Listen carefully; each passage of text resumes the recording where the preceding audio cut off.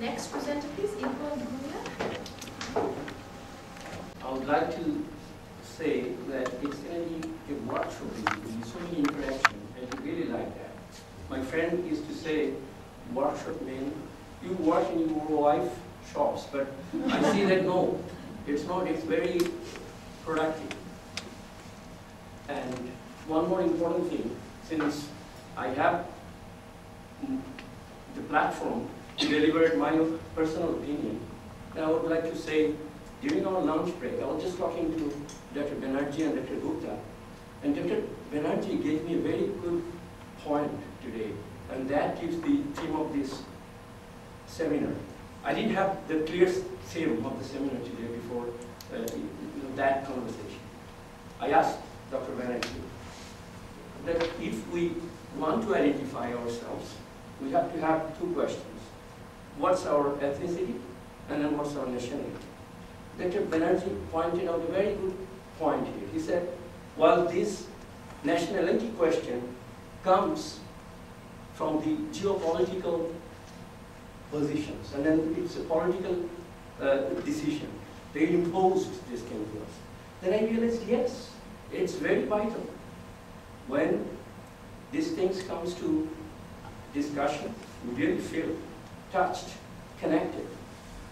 When we, when we say the same point that Satyendranath Dutta said, যেই দেশেতে তরুলতা সকল deshe chaite শ্যামল যেই দেশেতে চলতে গেলে দৌড়তে হয় রে দুর্বল Don't we connect each other? Don't we think that we belong to the same culture, same feeling, same something that connects us? When you say, আমারও দেশেরও মাটিরও গন্ধে ভরে আছে সারা মন don't we connect? Yes, that's the connection. And then that's the theme of today. As I said, I'll introduce myself a little bit as I go ahead.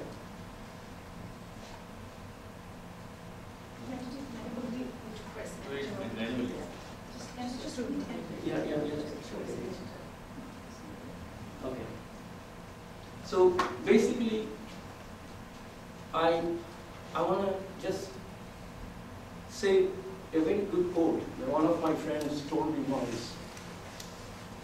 And then I really emphasized that throughout my life. He said, divide your life into four parts.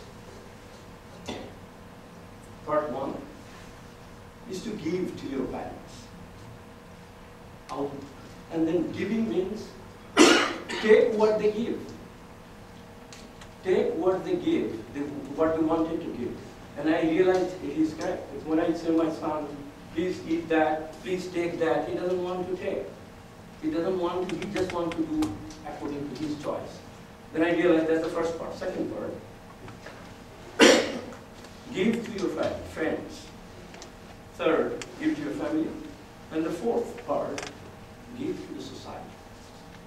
The fourth part starts around 50 but I started my fourth phase related with Article, and I will share with, share with you. The first thing of my presentation, because I didn't have any clear idea what the main theme of the presentation. So I divided my presentation into three. I submitted a paper, and I wrote the paper actually. I'll share the, the whole story, but my story will give you some pictures, some photos. I don't have too many slides with words and everything. So let's start. So basically, the main point here is the engineers. I will say stories about the engineers. Now, I am an engineer, civil engineer. I graduated from Bangladesh Engineer in, in University of Engineering and Technology. And then I did my master's from the Netherlands. I moved to Canada as an immigrant. When I was moving to Canada, I had admission in three universities, the University of Manitoba, the University of British Columbia, and the University of Ottawa. Many of you know that Dr. Zaman is my relative. Uh, he is my wife's uncle. He happens, happened to visit Bangladesh at that time, I asked him, I have three places in Canada, where should I go? He said, definitely Vancouver. so I said, okay. Then, so, so he, he told me that, okay, I, I was convinced. I moved to Canada, I went to UBC, started my PhD, Unfortunately, fortunately, it was a very, very easy transition. I asked, I asked my wife, my wife, should I work here or should I go for PhD? It will take five, at least five, four or five years to finish my PhD. Kids will suffer. So no, don't worry about their suffering. I'll take care of them. And she is a very nice lady. She took care of them throughout my five years of PhD. She didn't even uh, even let me understand any job. And I finished my PhD well before I expected, like four, four, four years, a little bit more. And then after that, since it was a very easy transition, not, it's very important to mention here that I, I didn't have to even apply for a job. I went to a seminar, I presented, my boss was there. And then we had a presentation together, like immediately before we had a presentation. I gave my business card. He called me after three days. Hey, you want to join with me? And so, well, I don't know anything about your company. Okay, let's discuss and see what what I can provide you and what you can deliver. So we discussed. He, he asked me to join full time. I said, no, I cannot because I have to write my thesis. I promised with him to start a part time, and I did. We and I didn't finish my PhD even like six months to finish. I finished, and basically I was full time by that time. So there was a very easy transition for me. I didn't even had any trouble by the by the grace of Almighty. But I realized that it was not easy for everyone. I should do something for the people who suffer. So I started. I started doing something for the people, for the internationally trained engineers. The, uh, um, the Mr. Tariq Islam mentioned during his presentation that not only do something for the Bangladeshi people, we should do something for the internationally trained engineers. So the cause that attracted me, why internationally trained engineers are not getting their job here, as Marina mentioned that his dad had trouble getting job here. So yes, there are some obstacles. I wanted to identify them, and I started to just research a little bit. Which presenter? Indian, Indian, yeah. I'm doing many one. Okay, thank you. So I found that the engineers who land in Canada, they most of them come to Vancouver, uh, in BC, most of them come to basically in, uh, in Vancouver. And then of them, only 30% declare them as engineer, which is a very disturbing figure. So we have a very big window to do something for them. So what I did, as I said, like it's increasing number of people coming to Vancouver who divorced to BC. It's increasing. So what's the point here? A lot of people don't report and they have some trouble in the, getting the actual message from the reporting system, our regulation, regulatory bodies. As Dr. Emdad said, it's something that we are missing. Can government do something? Yes, I'll very quickly. So, like, there is a barrier. So we, so our engineers who came from Bangladesh started a basically an organization which is called Bangladeshi Engineers Association. And this organization was in, started in 2005 at UBC. A group, young group of UBC uh, students who were doing their PhD and masters and then some of the uh, Bangladeshi students who came here started that initiative. And then the, the, this, is, this slide basically shows the roles of the organization. As a professional organization, this is the role, basically. Now, what are the activities that we are doing now? We are trying to break the barrier. We know that there are two cultural gaps here, cultural gap and the communication gap. So the biggest I always try to basically convey the message that the communication uh, is always thing to, to, to, not to understand, but to reply. That's the problem.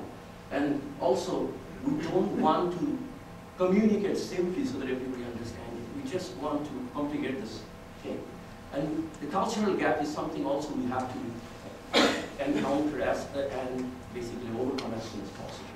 So those, and then uh, the other recent activities that we do, like here from uh, Engineering Association, is basically we do workshop, and then we do seminars, we uh, do social gathering, and then one step further, I became the chair of the Regulatory Association here, Association of the uh, Bangladesh uh, Association of Engineers here in BC, and I was the branch chair here in Vancouver, and I decided that I should do something for the international community. I opened a position there, coordinator position there, and then I I tried to organize workshop, especially for the international community. This is the seminar organized for the international community. And then this, and then we collaborate with multicultural you know, society. They help us providing their uh, uh, venue, uh, and then we organize uh, uh, in collaboration with ABC and ASCBC. We organize work, workshop for basically interracial multicultural, invited me to uh, uh, speak for them. And I was there several times. Now, there are other collab- collaboration Bangladeshi engineers that we here. This is this slide basically.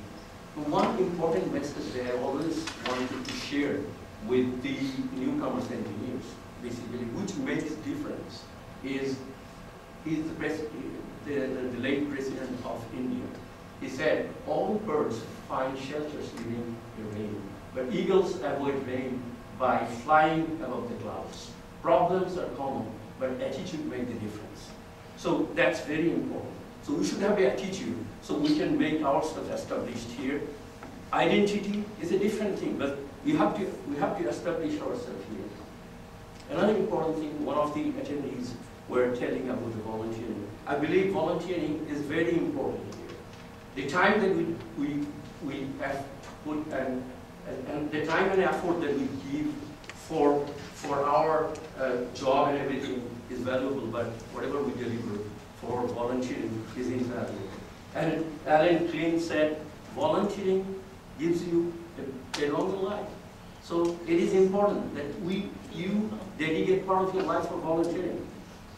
Now, what's needed in BC for the ITs? I realized that recognition process,